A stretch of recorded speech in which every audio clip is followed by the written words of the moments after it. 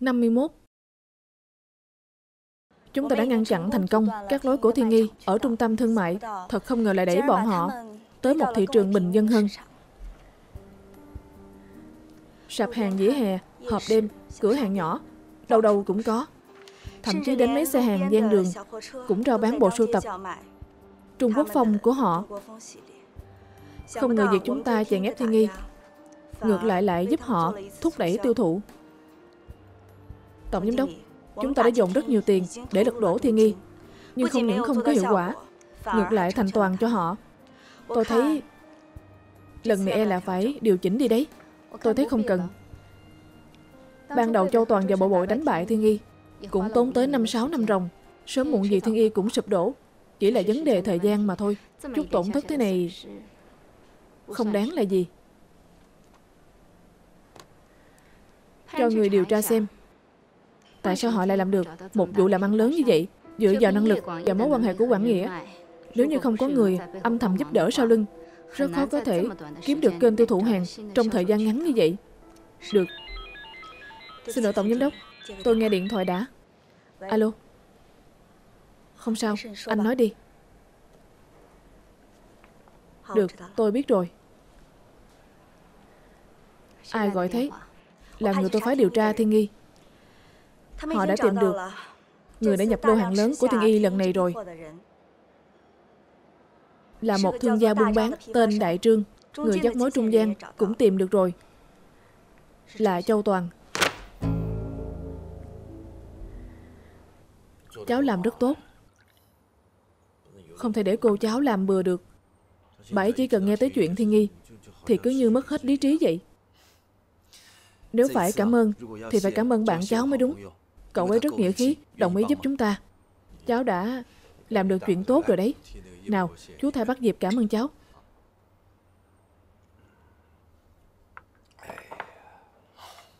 Có trách thì phải trách cháu. Trước đây cháu nói giáo cho giặc, làm ra không ít chuyện đàn áp thiên nghi. Lương tâm của cháu cũng bức rứt lắm. Lần này giúp được thiên nghi, cháu cũng cảm thấy dễ chịu hơn đôi chút. Nhưng mà quan trọng là Cháu vẫn muốn giúp cho Mỹ Lệ. Nhưng mà cháu cũng lo. Sớm muộn gì cô cũng biết chuyện này thôi. Đến lúc đó e là phải phiền chú. Nói giúp cho cháu rồi. Yên tâm đi. Chỉ cần là những chuyện có thể giúp được cho Thiên Nghi, Thì cứ yên tâm mà làm. Có chuyện gì, Chú sẽ gánh giúp cháu. Cảm ơn chú. Có câu này của chú, thì cháu yên tâm rồi. Uống trà đi.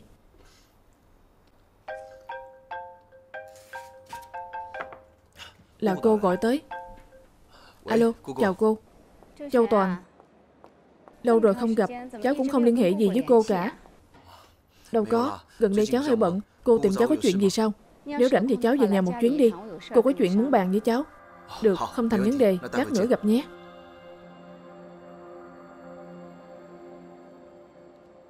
Bà ấy tìm cháu làm gì? Cháu cũng không biết nữa. Cô bảo cháu về nhà một chuyến. Nói là có chuyện tìm cháu Lẽ nào bà ấy biết chuyện của Thiên Y rồi, Nên tìm cháu hỏi tội. Cháu cũng không biết. Không sao. Cứ về chung với chú đi. Có chuyện gì, Chú gánh giúp cho cháu. Đi. Cảm ơn chú. Tới ngay. Chủ tịch, Ông về rồi. Cô ơi, Cháu và chú về rồi. Sao hai người đi chung với nhau thế? Chúng tôi đã uống trà nói chuyện. Vừa hay bà gọi đến Nên là về chung luôn. Có cần tôi lánh mặt không? Xem ông nói kìa. Người một nhà cần gì phải ngại chứ? Ông ngồi xuống đi. Cảm ơn bà. Châu Toàn, cái thằng nhóc nhà cháu. Cô không gọi cho cháu. Cháu định không về luôn đúng không? Hôm nay cô bảo người nấu thêm mấy món. Cháu ở lại đây ăn tối luôn đi Lát nữa đi thăm bà nội cháu một chút. Bà ấy suốt ngày nhắc. Khi nào thằng bé Châu Toàn này mới về Khi nào mới về đấy. Bà gọi Châu Toàn về là để Ăn cơm với đi thăm bà nội sao Sao đây Châu Toàn là cháu tôi. Tôi nhớ nó Không gọi nó đến được sao Hay là để bàn về Trung Quốc Phong đây. Trung Quốc Phong sao Chuyện Trung Quốc Phong tôi đã giao cho Thiến Thiến xử lý rồi, không liên quan gì tới Châu Toàn cả. Tôi đang nói Trung Quốc Phong của Thiên Y. Trung Quốc Phong của Thiên Y thì càng không liên quan gì tới Châu Toàn, đúng không Châu Toàn? Hai người rốt cuộc nói cái gì vậy? Tôi không hiểu gì cả. Nhưng hôm nay tôi gọi Châu Toàn tới, đúng là có chuyện muốn bàn với nó. Cô à, cô tìm cháu có chuyện gì? Cháu còn nhớ một công ty Hàn Quốc từng đến bàn chuyện làm ăn với chúng ta không? Có, nhưng mà sau đó không có tiến triển gì cả. Giờ thì có tiến triển rồi đấy. Thương hiệu Hàn Quốc sau khi đánh giá thị trường quyết định hợp tác với công ty chúng ta. Bây giờ chỉ còn vấn đề điều kiện. Ban đầu do cháu đàm phán cụ thể thế nào cháu là người rõ nhất. Cô hy vọng cháu có thể giúp đỡ công ty một thời gian, tiếp tục phụ trách chuyện này. Có thời gian cháu bay sang Hàn một chuyến. Không thành vấn đề, chuyện này trước đây do cháu lo mà, để cháu làm tiếp cũng là chuyện nên làm thôi. Được. Vậy cô sẽ gọi cho Yến Dung, bảo cô ấy mua vé máy bay cho cháu ngay, để ngày mai cháu đi luôn. Dân. Tình hình bên đó sao rồi? Vậy sao? Tốt quá rồi. Tôi luôn sẵn sàng đón tiếp. Mọi người qua đây. Sao thế? Vừa nãy bên buôn bán gọi điện tới. Nói là tiêu thụ bộ sưu tập Trung Quốc Phong của chúng ta rất tốt. 100.000 bộ mà chưa đến 2 ngày. Đã bán được 1 phần 3 rồi. Thở vào nhẹ nhõm. Đứng lại. Cậu đang lúc làm cái gì thế? Tay tôi có cầm cái gì đâu. Tay cậu không cầm. Đưa đây. Anh anh đừng giành mà. Đây là cái gì? Ông chủ kho đông lạnh bảo tôi đưa cho chủ tịch Dương Kho đông lạnh. Kho đông lạnh gì thế? Thì là chỗ lần trước nhốt Mỹ Lệ và Châu Toàn ấy. Không phải là băng ghi hình của Châu Toàn và Mỹ Lệ đấy chứ. Không thể nào. Ông ấy bảo tôi đưa cho chủ tịch Dương thôi. Chủ tịch Dương sao? Đưa đây. Không được. Anh không được xem Đừng xem mà.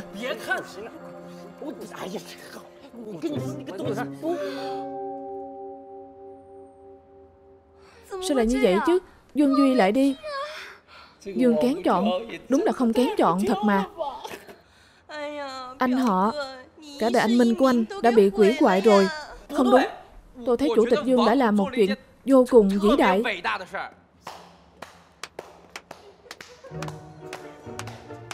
Chủ tịch Dương Tuy tôi không biết con người khiêm tốn tôi đây đã làm ra chuyện vĩ đại gì, nhưng mà Tiểu Triệu không phải dựa vào một câu này của cậu thôi.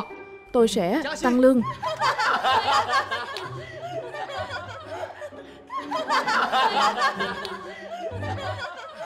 Mọi người cười cái gì chứ? Nhìn tôi buồn cười lắm sao? Đại Minh Tinh, chúng tôi đang xem live show cá nhân của anh đây này. Cái gì? Là cái gì thế? Mau tránh ra. Chuyện này là sao? Là ai đã làm? Chủ tịch Dương, Cái này là do ông chủ kho đông lạnh. Bảo tôi đưa cho anh đấy. Ông ấy bảo cậu đưa tôi. Cậu đưa cho họ làm gì? Tại anh ấy Dương Duy, Sao anh lại hẹn hò với cao bội chứ? Đã thế còn ở trong kho đông lạnh nữa chứ? Không phải. Cô nhìn cho kỹ đi. Chúng tôi giống đang hẹn hò chỗ nào chứ? Chúng tôi bị nhốt trong đó mà. Bất luận là hẹn hò hay bị nhốt anh ở bên cạnh cô ta đúng là không đúng rồi Mấy ngày trước, không phải tiểu triệu bị chậu hoa đập trúng đầu hay sao? Tôi cũng thấy lạ thật. Sao trên trời có thể vô duyên vô cớ có chậu hoa rơi xuống được chứ? Tôi liền nghĩ nhất định có người giở trò. Hôm qua khi tôi ra cửa phòng làm việc, thấy xe cao bội đậu ở ngay đó. Vừa lên lầu xem. Anh đoán xem tôi lên đó làm gì? Cô ta bị tôi bắt ngay tại trận luôn.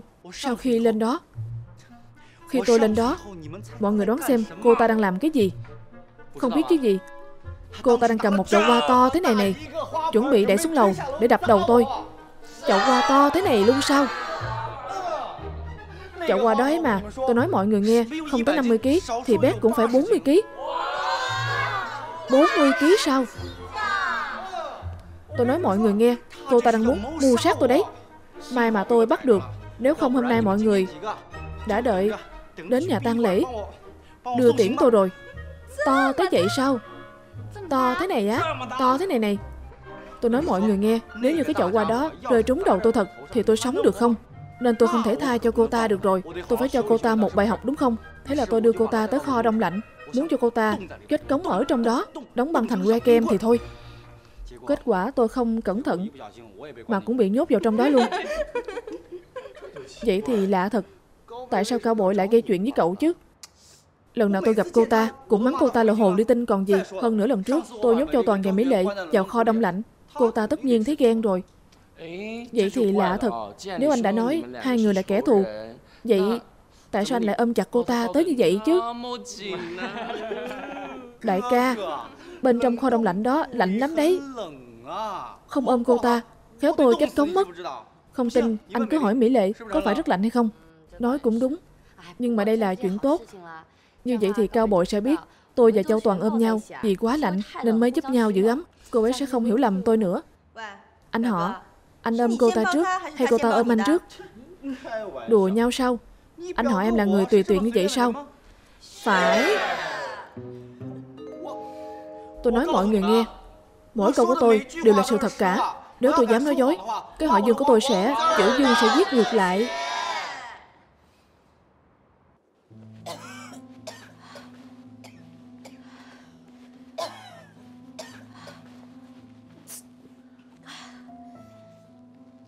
Dương Duy chết tiệt. Nhất định là bị cảm rồi. Cô bị cảm thì nhớ đeo khẩu trang nhé. Sức đề kháng của bà bây giờ đang rất kém. Để lây cho bà thì phiền phức lắm. Tôi biết rồi. Dương Duy chết tiệt, Nhất định cũng bị cảm. Để xem lần sau, tôi xử anh như thế nào. Tứ quý ông làm gì vậy, Thằng nhóc hối tha này, Bớt tới nhà tôi, Ra dễ thân thiết đi. Cậu xin là cảnh cáo của tôi, Như gió thoảng bên tai đấy à. Tôi mà còn thấy cậu tới làm phiền mỹ lệ. Tôi đánh gãy chân cậu. Tứ quý trời đang mưa. Ông cho nói vào nhà đi. Bà mặc kệ trời mưa đi. Liên quan quá gì tới tôi. Cậu mau đi đi. Cậu ta chết chìm luôn thì càng tốt.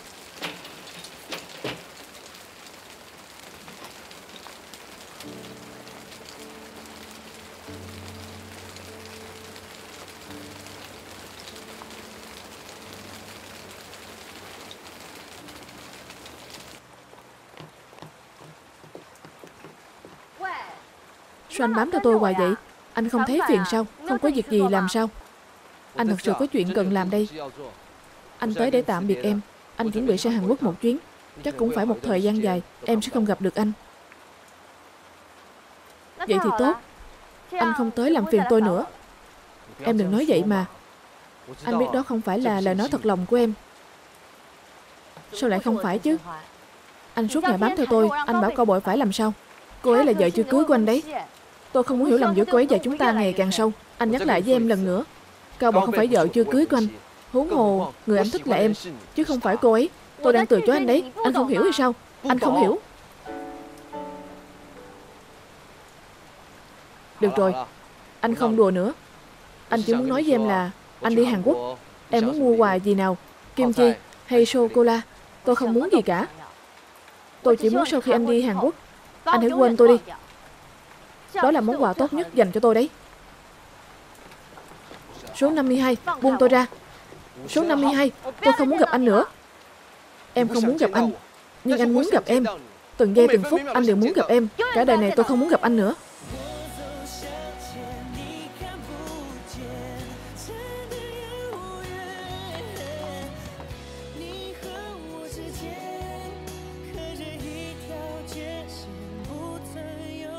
Mỹ Lệ Dù em nói như thế nào Anh cũng muốn gặp em.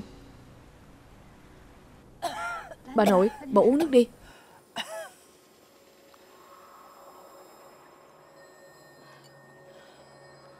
Bà nội, sao tự dưng bà ho nặng thế? Có phải cháu lây bệnh cho bà rồi không? Bà nội. Tú Trân, lấy khăn giấy. Nào bà nội. Bà nội Bà đưa cho cháu. Bà nội, bà ho ra máu rồi. Bà nội Bà nội, chúng ta tới bệnh viện thôi. Tú Trân Mau gọi điện cho bệnh viện đi.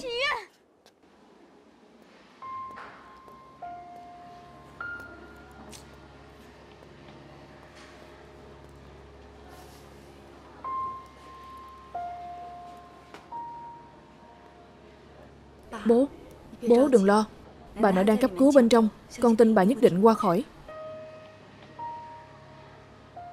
Ông đừng cứ đi qua đi lại nữa. Giờ ông có lo cũng vô ích thôi. Đợi bác sĩ ra là biết kết quả ngay thôi.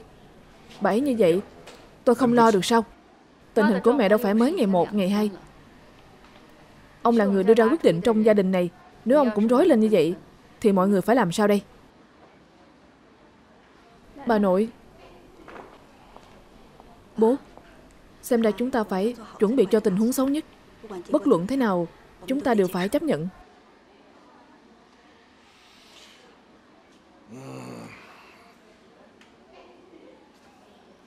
Bội bội Con gọi cho Châu Toàn, Bảo nói về đây. Nó đang ở Hàn Quốc làm việc, Ông gọi nó về làm gì? Châu Toàn từ nhỏ, Mẹ đã yêu thương nó nhất. Lỡ như mẹ có chuyện gì, Nó không gặp được bà lần cuối, Bà muốn nó ân hận cả đời sao Mẹ, Bố nói cũng có lý. Bội bội Mau gọi cho Châu Toàn đi.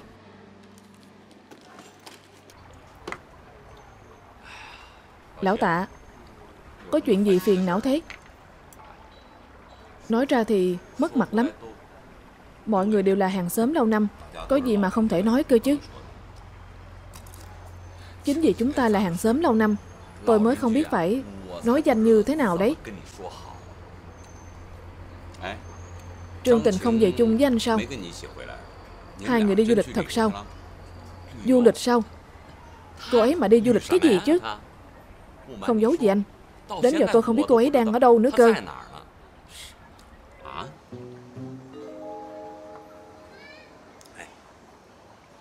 Chắc anh cũng biết Chuyện tỉnh qua tìm được bố ruột rồi nhỉ? Phải. Không giấu gì anh. Người ta đưa cho chúng tôi tới Một triệu bạc tiền bồi thường luôn đấy Một triệu sao? Trương Tình có số tiền này rồi. Đến mình mang họ gì? Cũng còn không biết nữa kìa. Diễn thôi. Cô ấy còn nói Trấn Lưu Hạ là một nơi quê mùa Không thích hợp với người có thân phận như chúng tôi nữa. Cho nên cô ấy mới không muốn về đây. Quá ra Trương Tình không về. Là vì nguyên nhân này. sao? Không không. Cũng không hẳn là vậy. Tôi đã định trả số tiền kia cho người ta rồi.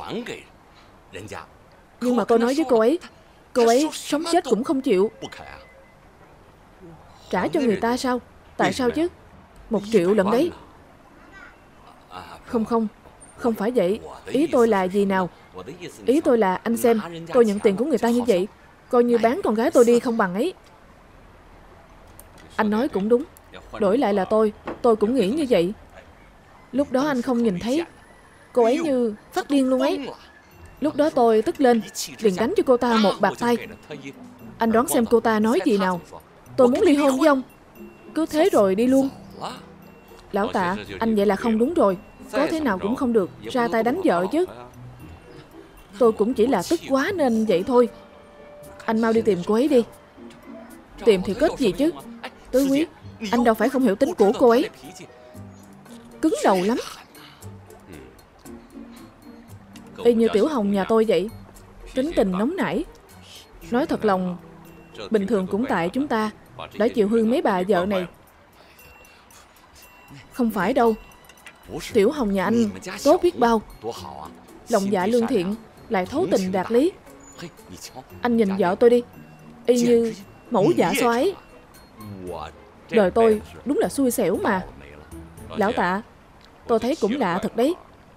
Nếu anh đã không hài lòng về cô ấy như vậy Cô ấy không về Anh phải vui mới phải chứ. Anh được tự do rồi mà. Sao lại mặc ủ mài trâu thế? Con người tôi thế nào Anh cũng biết mà. Tôi chỉ nói cho sướng miệng vậy thôi. Chỉ vậy thôi là được rồi. Thực ra anh xem bình thường Hở tí là cãi nhau đấu khẩu. Tôi đã quen rồi Vẫn là có tình cảm thôi. Tất nhiên rồi. Chúng tôi là vợ chồng mấy chục năm rồi mà. Tứ quý Anh nói xem Những lúc không có cô ấy ở bên cạnh Trong lòng tôi thật sự rất nhớ cô ấy. Chẳng quen chút nào cả. Vậy thì mau gọi cho cô ấy đi. Điện thoại của cô ấy có gọi được đâu. Có chuyện gì vậy Tôi cũng đâu có biết đâu Thôi được rồi Chúng ta không nói về cô ấy nữa Chúng ta uống rượu đi Lão tạ Tôi phục anh thật đấy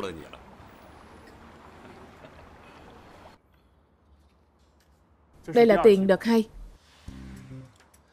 Nhanh vậy sao? Anh không phải nói đợi một thời gian nữa sao? Tôi cũng đâu có ngờ quần áo của anh bán tốt như vậy chứ. Tôi nói anh nghe, tôi làm ngành này đã nhiều năm rồi. Đây là lần đầu tôi mới gặp đấy. Chỉ mới vài ngày ngắn ngủi thôi, rất nhiều điểm bán hàng đã bán hết rồi. Có người còn hỏi tôi còn hàng nữa không cơ. Vậy thì tốt quá. Nếu lượng tiêu thụ tốt như vậy, vậy chúng ta cứ thừa thắng xông lên, làm thêm vài chục nghìn cái nữa. Chuyện này tôi cần phải suy nghĩ thêm. Suy nghĩ gì chứ? Anh đừng suy nghĩ nữa. Theo như tình hình bây giờ, không tới một tuần, tôi có thể thanh toán hết phần còn lại cho anh. Tôi nói hai người nghe, hai người mau tranh thủ thời gian đi. Nếu không tôi không còn hàng để bán mất. Bây giờ bộ sưu tập Trung Quốc Phong của mọi người đang rất được yêu thích. Có người mua mà tôi lại không có đồ để bán, vậy thì tiếc quá. Hai người suy nghĩ cho kỹ đi. Tôi có chuyện đi trước đây. Để tôi tiễn anh. Bên này.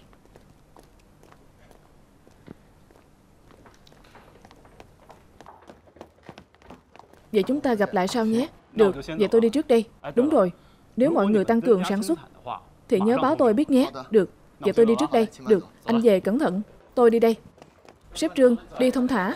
Rảnh rảnh nhớ ghé chơi nhé. Tạm biệt. Mọi người, tiền đợt hai đã về rồi đây. Tuyệt quá rồi.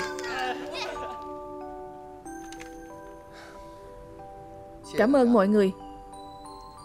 Chính nhờ sự nỗ lực của mọi người, chúng ta mới có được thành tích như hôm nay. Cảm ơn mọi người. Khách sáo làm gì chứ? Anh đừng vậy mà. Anh mau đứng lên đi. Ngoài mọi người ra, tôi còn phải cảm ơn một người nữa. Đó là Châu Toàn. Nhờ Châu Toàn mà chúng ta mới thoát được nguy cơ này. Có được thành tích như ngày hôm nay. Khai thác được nhiều kênh bán hàng hơn. Cho nên tôi thật sự phải cảm ơn anh ấy. Mỹ Lệ, cô gọi cho Châu Toàn đi. Tối nay chúng ta mời anh ấy đi ăn. Để cảm ơn anh ấy. Sao tôi gọi chứ? Anh không biết gọi sao? Được rồi. Anh ấy đang đi có việc ở Hàn Quốc. 2 giờ chiều nay, máy bay sẽ hạ cánh. Không xong rồi, xảy ra chuyện rồi, xảy ra chuyện rồi. Chuyến bay lúc 2 giờ chiều, từ Hàn Quốc tới Hàng Châu gặp chuyện rồi. Cái gì?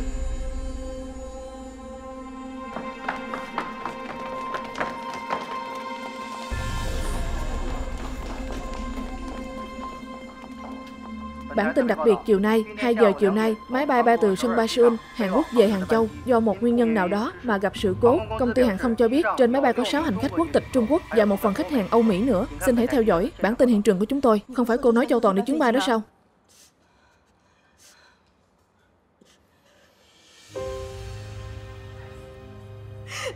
Đều là lỗi của tôi. Đều là lỗi của tôi. Tại sao tôi lại trù anh ấy như vậy chứ? Tôi đúng là đồ miệng quạ mà. Mỹ Lệ, Cô cũng đừng quá tự trách. Cho dù Châu Toàn ở trên chuyến bay đó, Anh ấy cũng sẽ không sao. Chúng ta sẽ tìm được anh ấy. Chuyện này khó nói lắm. Máy bay ra vào núi, Rồi đùng một cái, Máu thịt trộn lẫn vào nhau. Sẽ khó tìm lắm. Cô định đi đâu? Tôi phải ra sân bay. Tôi phải hỏi cho rõ thông tin. Cô bình tĩnh đi Đừng quá lo. Dương Duy Gọi công ty hàng không hỏi thử Được, giờ chúng ta qua đó. Đi thôi.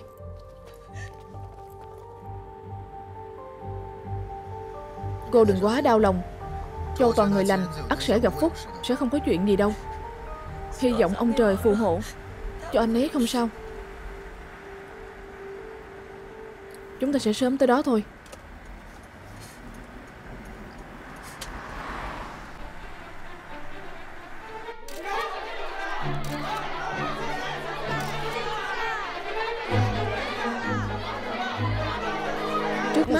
Cả tiếp viên hàng không và hành khách đều chưa rõ tung tích.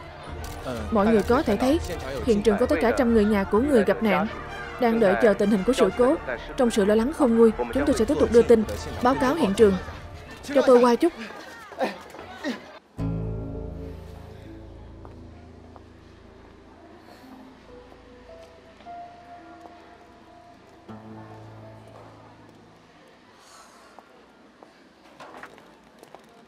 Anh họ, cuối cùng anh cũng về rồi. Bà nội sao rồi? Bà nội ho ra máu nhiều lắm. Em không muốn bà nội chết đâu. Được rồi, em bình tĩnh đi. Chú, tình hình bà vẫn ổn chứ? Đang cấp cứu, còn chưa biết nữa. Châu Toàn, sao về sớm thế? Tối qua tôi nhận được điện thoại của bội bội. Liền đặt chuyến bay sớm nhất về đây ngay. Việc ở Hàn Quốc cháu bạn giao xong hết chưa? Xong hết cả rồi.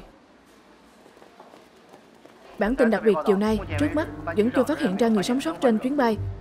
Đó là chuyến bay mà tôi vốn định đi. Chuyến bay của anh thật sao? Phải. vốn tôi đặt chuyến bay lúc 2 giờ chiều, kết quả chuyến bay lúc 9 giờ, có một hành khách không tới nên hỏi xếp tôi vào đó, nếu không e là tôi đã lên chuyến bay chết chóc này rồi. Xem ra bà nội cứu anh một mạng đấy. Xem như cháu may mắn thoát được kiếp nạn này. Hiện trường có tới gần 100 người nhà nạn nhân vẫn đang chờ tình hình về sự cố. Trong sự lo lắng khôn nguôi, tâm trạng của họ đều vô cùng kích động. Cho hỏi khi nào mới công bố danh sách người gặp nạn vậy? Bây giờ vẫn chưa có danh sách, cô đừng đau lòng nữa. Bây giờ vẫn chưa có danh sách, còn chưa biết ai còn sống mà. Cô đừng quá lo, nếu không chừng Châu Toàn không sao đâu. Vậy giờ tôi phải làm sao đây? Bác sĩ, tình hình bệnh nhân sao rồi? Tình hình bệnh nhân tạm thời ổn định hơn rồi. Nhưng chúng tôi đã cố gắng hết sức Bệnh của bà ấy, chúng tôi cũng không thể làm gì hơn được. Chúng tôi vào thăm được chưa? Không được đi đông quá đâu, mọi người theo tôi. Phẩm đề và bố vào trước, các con ở đây đợi đi.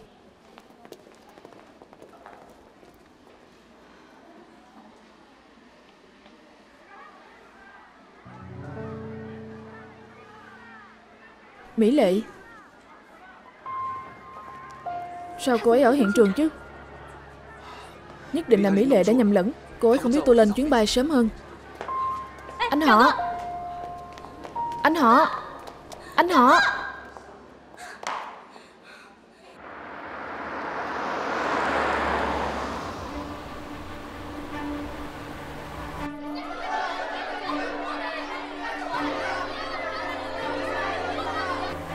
Tiểu Quách Anh lái nhanh lên đi.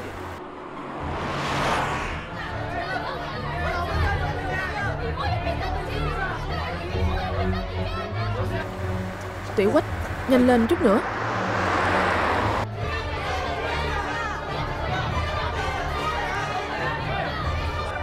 Số 52 Số 52 Số 52 Anh kiểm tra kỹ hơn một chút được không? Đừng để xảy ra sai sót gì đấy. Xin lỗi cho tôi qua. Số 52. Bây giờ mạng người quan trọng. Tôi hy vọng các anh có thể hiểu cho tâm trạng của chúng tôi. Chúng tôi thật sự rất lo. Quảng Nghĩa. Châu Toàn Mỹ Lệ đâu rồi? Anh đi theo tôi. Mỹ Lệ Mỹ Lệ Mỹ Lệ. Mỹ Lệ. Mỹ Lệ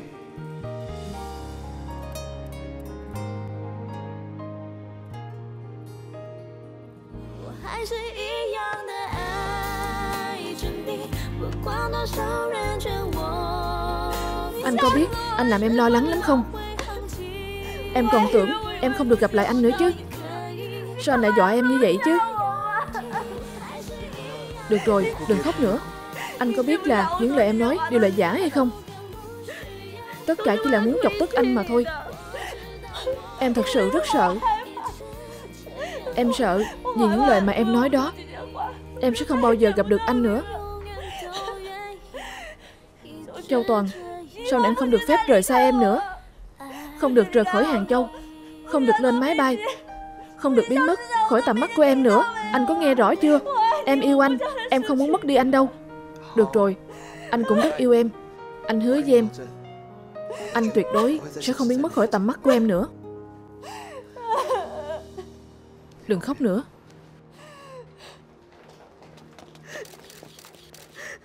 Chú Tứ Quý, Nhìn kìa. Nhìn xem Mỹ Lệ khóc đau lòng biết bao. Tất cả là chỉ muốn chọc tức anh mà thôi. Tứ quý, Mỗi lần Châu Toàn tới, Ông không đánh nó thì mắng nó, Còn đuổi người ta đi nữa. Ông xem giờ Mỹ Lệ khóc tới mức nào kia kìa. Ông biết không, Thật lòng Mỹ Lệ thích Châu Toàn đấy. Ông lại, Ông không hối hận gì đã Đối xử với Châu Toàn vậy sao? Tôi còn tưởng Mỹ Lệ ghét cậu ta nữa chứ. Ai mà ngờ nó thích cậu ta thật chứ. Nhưng mà bây giờ xem ra, Tôi đã làm đúng. Nếu không Mỹ Lệ đã thành quả phụ rồi. Phải đấy, cô Hồng. Chú Tư Quy nói không phải không có lý. Cô cũng không muốn Mỹ Lệ trở thành quả phụ chứ. Được rồi, đừng nói nữa. Ra ngoài hết đi. Ra ngoài cái đi.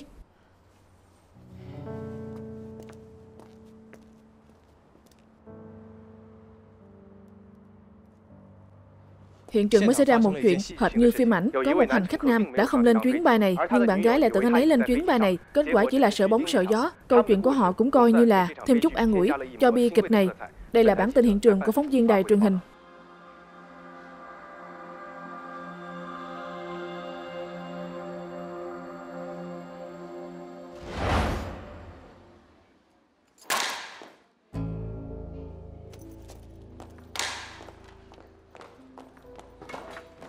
Bội bội Bội bội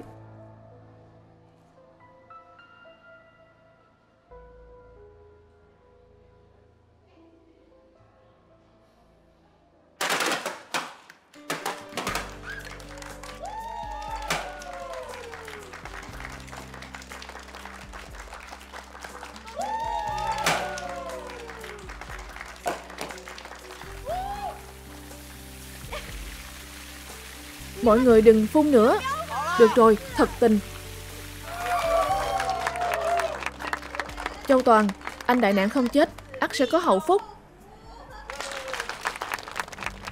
Mỹ Lệ, chúc mừng cô và Châu Toàn Có thể bắt đầu lại từ đầu Yêu nhau thật nồng nàn. Phải đấy, cuối cùng hai người cũng tu thành chánh quả rồi. Tôi chúc hai người sớm sinh quý tử Nhưng mà trước đó mọi người có muốn xem biểu diễn hay không? Hôn đi, hôn đi.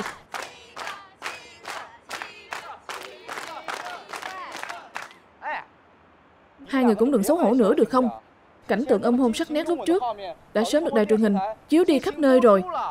Còn ở đó mà ra vẻ tuổi mới lớn nữa. Nhanh lên, hôn đi, hôn đi, hôn đi. Mỹ Lệ, kể từ hôm nay, chúng ta sẽ không bao giờ rời xa nhau nữa. Anh nhất định nắm chặt tay em, bảo vệ em, che chở cho em, yêu em cả một đời.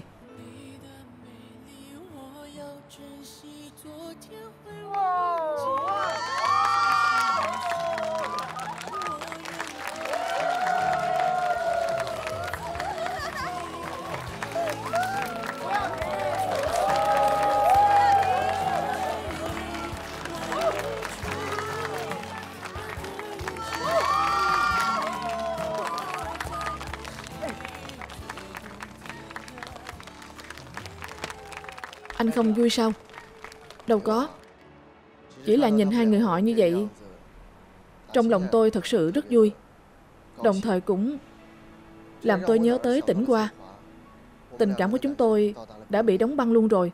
Cũng không biết tới bao giờ Mới có thể làm quà Mà quay lại như trước nữa. Mọi chuyện do người mà Quảng Nghĩa. Chỉ cần cậu đủ kiên trì, Tôi tin rằng tỉnh qua sẽ quay lại bên cạnh cậu thôi. Sếp Diệp anh cũng đừng quá lo. Bất luận thế nào thì ít nhất cũng còn có tử yên mà. Thế nào, nếu anh không thích, anh cũng có thể thử cân nhắc tôi mà. Con biết không, bố mẹ xem tivi thấy Mỹ Lệ khóc thảm thương như vậy, đến bố con cũng phải mềm lòng rồi. Chuyện gì cũng nghĩ thông suốt hết cả. Châu Toàn, cháu đại nạn không chết, ắt sẽ có hậu phúc. Cháu và Mỹ Lệ sau này bên nhau, nhớ là phải thật vui vẻ đấy nhé. Cảm ơn cô Tiểu Hồng.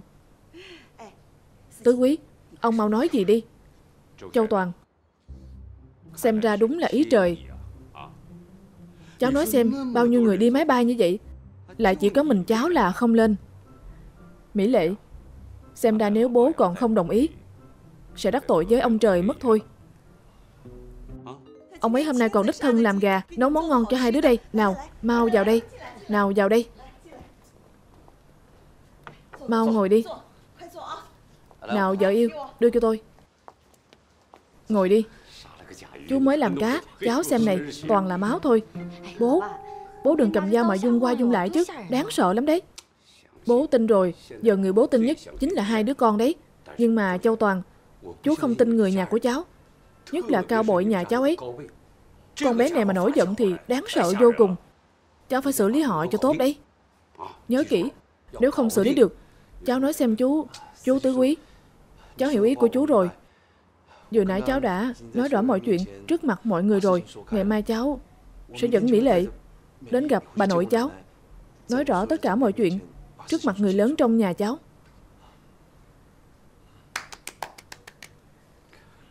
Lát nữa chú sẽ ra sao rửa.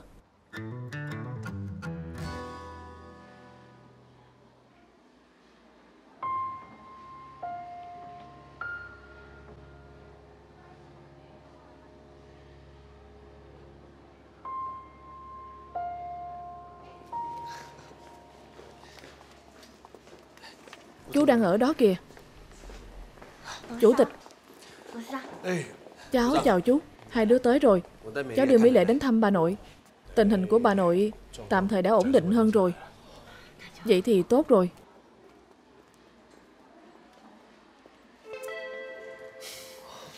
Chú thấy hai đứa trên tivi rồi. Đã làm lành rồi sao? Mỹ Lệ tha thứ cho cháu rồi. Vậy thì tốt Đúng rồi chú. Bội bội có biết chuyện của cháu và Mỹ Lệ hay không? Nó xem tivi xong Tâm trạng liền trở nên rất tồi tệ rồi bỏ chạy Cũng không biết chạy đi đâu rồi nữa. Đều là lỗi của cháu. Lúc đó cháu còn hứa với cao bội Không ở bên cạnh Châu Toàn nữa. Bây giờ nhất định cô ấy đang giận cháu. Cháu xin lỗi chú. Sao cháu phải xin lỗi chứ? Chuyện này liên quan gì tới cháu? Chuyện tình cảm cũng đâu thể nào ép buộc được. Cũng giống như chú rất hy vọng Châu Toàn làm con rể của chú vậy. Nhưng mà nó đồng ý sao? Không thể miễn cưỡng được đâu. Người ta trung thành với tình cảm của mình lắm đấy. Có trách thì phải trách. Bản thân bội bội nghĩ không thông thôi. Nhưng mà cháu cũng đừng lo. Sớm muộn gì nó cũng sẽ bước ra khỏi chuyện tình cảm này được thôi. Cứ để nó đau một lúc đi đã. Một thời gian là ổn thôi. Không phải hai đứa đến thăm bà sao? Mau vào trong đi. Bà ấy nhất định sẽ vui lắm đấy.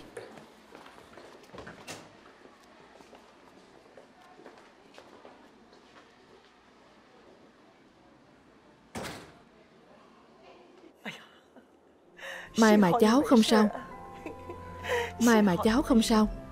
Vậy là ông trời đang phù hộ cháu đấy. Là ông trời đang bảo vệ cho cháu đấy. Cháu trai. Bà nội Mạng của cháu là do bà cứu đấy. Vốn bà tưởng căn bệnh này của bà Sẽ làm khổ mọi người lắm. Không ngờ Lần bệnh này Lại cứu được mạng của cháu. Phải đấy Vậy nên bà nội Bà nhất định phải sống tiếp. Cho thật khỏe mạnh đấy. Phải sống lâu trăm tuổi. Để cháu còn hiếu thuận với bà chứ. Cháu dẻo miệng thật đấy. Mỹ Lệ, Nghe nói sự cố lần này Đã giúp hai đứa làm lành rồi sao? Cháu xin lỗi bà. Bà nội, Trong lòng cháu Vẫn luôn rất yêu Mỹ Lệ, Cho nên cháu không thể kết hôn với bội bội được. Trước đây cháu giấu bà Là vì sợ bà sẽ đau lòng. Lần này cháu đưa Mỹ Lệ đến tìm bà. Là hy vọng bà có thể thành toàn Cho cháu và Mỹ Lệ ở bên nhau. Bà nội, vốn là cháu đã hứa với bà Sẽ thành toàn cho bộ bội và châu toàn. Nhưng mà cháu đã phản bội lại lời hứa. Cháu xin lỗi bà rất nhiều. Cháu xem, Con bé này lương thiện biết bao. Cháu chỉ biết trách mình, Mà không hề trách bà. Vì yêu thương cháu gái của mình, Mà để cháu phải chịu thiệt thòi. Châu Toàn Bà đã nhìn ra chuyện của hai đứa từ lâu rồi. Nhưng mà bà vì thương bội bội. Bà không muốn nó đau lòng. Cho nên Chắc hai cháu cũng hiểu lòng Người già này chứ. Bà nội Tất nhiên bọn cháu hiểu rồi. Chỉ là chuyện tình cảm này Thật sự không thể nào miễn cưỡng được. Bà cũng giúp cháu khuyên bội bội Để cô ấy nghĩ thông suốt hơn đi. Phải, đúng là nên nghĩ thông một chút. Đợi người đâu thể, Chuyện gì cũng thuận lợi được đâu. Cũng chẳng ai có thể bao che cho nó, Bảo vệ nó mãi cả. Bà nội thật đáng hổ thẹn. Mai mà lần này Châu Toàn bình an vô sự. Đây là duyên phận của hai đứa đấy. Mỹ Lệ, Nào. Hai đứa nhớ phải trân trọng nó đấy. Cảm ơn bà nội. Cảm ơn bà nội. Được.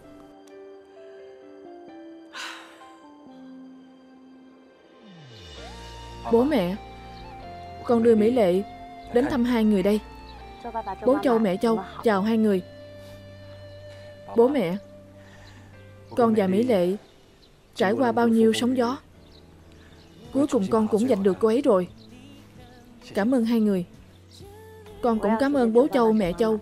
Cảm ơn hai người ở trên trời phù hộ, Giúp Châu Toàn vượt qua được kiếp nạn này. Cảm ơn hai người. Không chỉ thoát được kiếp nạn này, Mà còn nhân cơ hội này Giúp con giành được Mỹ Lệ nữa. Con biết Nhất định hai người biết Mỹ Lệ là một cô gái tốt Cho nên mới không muốn bọn con xa nhau. Đúng không? Bố, mẹ Cảm ơn hai người đã tặng cho con Một món quà tuyệt vời như vậy. Cả đời này của con Sẽ luôn yêu thương cô ấy Không bao giờ buông tay cô ấy ra nữa. Tức chết đi được Cái quái gì đây? Tiểu Châu Cô qua đây cho tôi. Tôi hỏi cô Thiết kế cái quái gì đây? Thì thời trang Trung Quốc phong đấy. Trung Quốc phong sau, Hai chữ đó trước là gì? Thời trang Thời trang. Cái này mà gọi là thời trang sao? Tôi thấy đẹp mà thầy Peter. Đẹp sao? Các người đúng là đồ ăn hại. Suốt ngày chỉ biết ăn thôi. Mà mang về sẽ lại ngay.